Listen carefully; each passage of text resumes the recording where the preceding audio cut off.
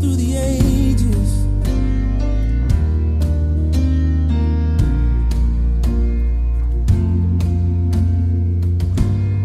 God of Abraham, you're the God of covenants and faithful promises. Time and time again, you have proven you do just what you said. Though the storms may come.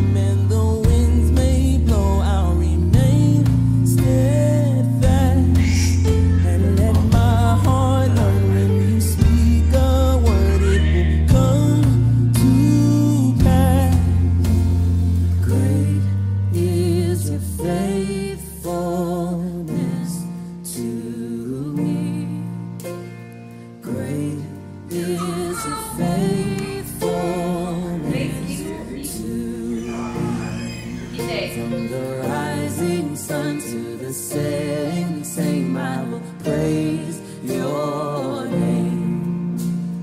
Praise is your faith.